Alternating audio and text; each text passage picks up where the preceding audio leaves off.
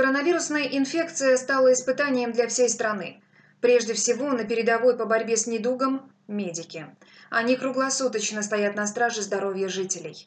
Но есть люди, чья помощь сегодня не менее важна и бесценна. Это волонтеры. О поступках, достойных уважения, в сюжете Луизы Игиазарян. Алло. Алло, Нина Тимофеевна. Да. А, добрый день, меня зовут Матвей, я волонтер. Вам удобно разговаривать? Пенсионерке Нине Головчанской понадобилась помощь. Из-за эпидемии коронавируса она не может посетить терапевта для выписки необходимых лекарств. Вместо нее за рецептом и в аптеку сходят волонтеры. Единственное, что надо сделать женщине – передать ребятам медицинскую карту. Выйти, э, скажем, я уже не могу. Просто, конечно, я бы, я бы пошла.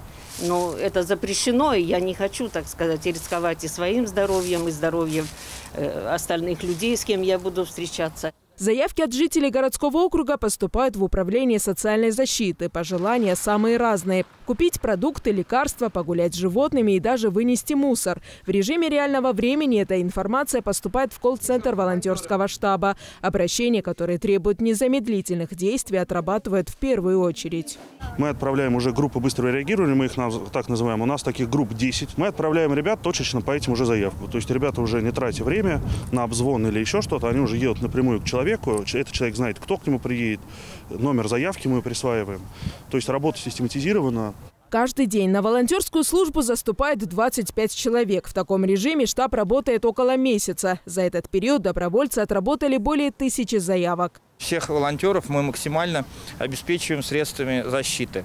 Это маски, перчатки, а также у нас есть в наличии респираторы. То есть в этом плане мы ребят э, ну, оберегаем, потому что они в это нелегкое время вот выполняют такую свою сложную миссию. Я надеюсь, мы все вместе справимся.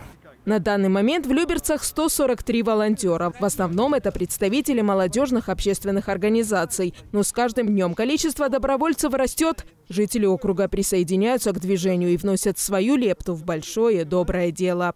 Луиза Игазарян, Сергей Гвоздев, телеканал ЛРТ.